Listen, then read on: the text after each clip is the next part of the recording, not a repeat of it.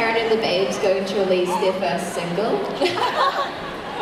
and do you still keep in touch with the rest of the cast? Of course I keep in touch with the rest of the cast. We're like best friends.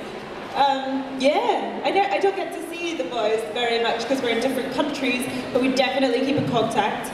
Um, Arthur just got married. Did you know that? Oh, oh well, I guess I've outed him. so that was quite exciting. Um, I don't know if we have any immediate plans to release a single, but maybe we will when we're 44. Very specific. Yeah, when I turn 44, I'm going to release a single.